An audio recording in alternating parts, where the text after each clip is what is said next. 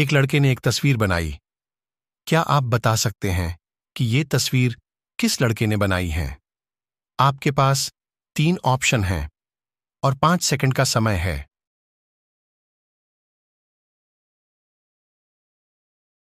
अगर आपने उस लड़के को ढूंढ लिया है तो कमेंट और लाइक कर दे।